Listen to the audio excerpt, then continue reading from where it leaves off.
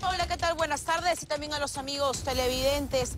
Estamos, y parece ser que estamos en un lugar de guerra, en una zona donde han bombardeado. Pues no es así, se trata del Parque Pleiades, en el distrito de Santiago de Surco, que por la madrugada llegaron agentes municipales, ¿no?, para poder hacer la demolición de estas áreas verdes que también complementadas con espacios deportivos. Miren cómo ha quedado este arco un arco que ha sido destruido por esas maquinarias durante la madrugada. Los vecinos, al percatarse de esta situación, pues salieron de sus viviendas para poder oponerse a esta demolición de la Municipalidad de Lima, que tiene el fin de hacer aquí, en esa zona, la construcción de la vía expresa sur, ¿verdad? La ampliación de esta obra.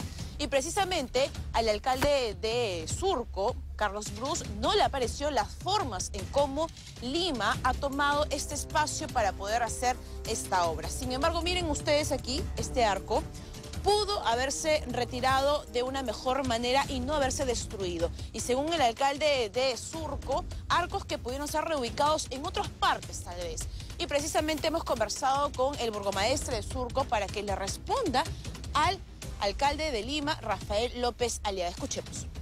Usted no fue notificado, es decir, no fue avisado, alertado que iban a venir en la madrugada para que al menos ustedes puedan retirar, porque usted lo dijo anteriormente, retirar estos elementos que muy bien pudieron ser, digamos, reubicados en otro parque. Así es, si hubiéramos sabido algo, pues, por supuesto lo retirábamos para poderlo reubicar. Pero este es un poco, parece lo que ocurrió con el Palacio Marzano. ¿Se acuerdan que el Palacio Marzano, entre gallos de medianoche, lo derrumbaron? Este, bueno, igualito, está haciendo, es, el mismo modus operandi de destruir el espacio público. Y aquí hay que ser claro en una cosa. Es falso aquello que tiene que haber o parque o vía expresa. No.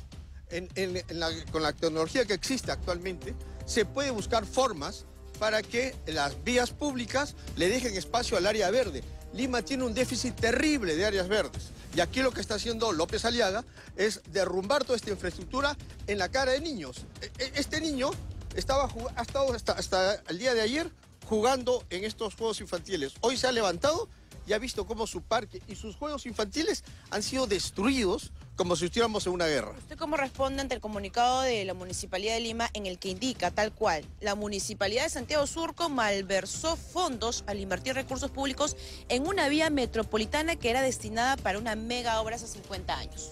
Fíjese, todos estos terrenos, el municipio de Lima desde hace 20 años atrás no los cuidaba.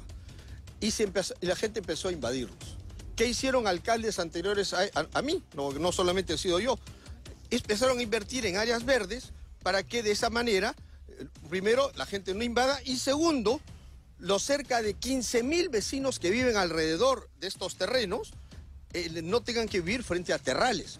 Hoy en día sí se puede hacer vías con este, amplias zonas para, para los parques. Nosotros hemos propuesto que se preserve tanto el parque que estaba entre percursores y próceres como Pleiades, y en estas dos zonas, al menos, se puede hacer una vía subterránea para que el parque se preserve. Bien, declaraciones del alcalde de Surco, Carlos Bruce, indignado por esta situación y que también denuncia no haber sido notificado y que además dijo haber conversado con Rafael López Aliaga un día antes y no le mencionó que iban a intervenir este parque durante la madrugada. Estamos también a la a espera de la respuesta del alcalde de Lima, Rafael López Aliaga, para que puedan, digamos, llegar a un diálogo, a un consenso con respecto a estos espacios que, como ustedes ven, son áreas verdes. Continúen ustedes, Paola.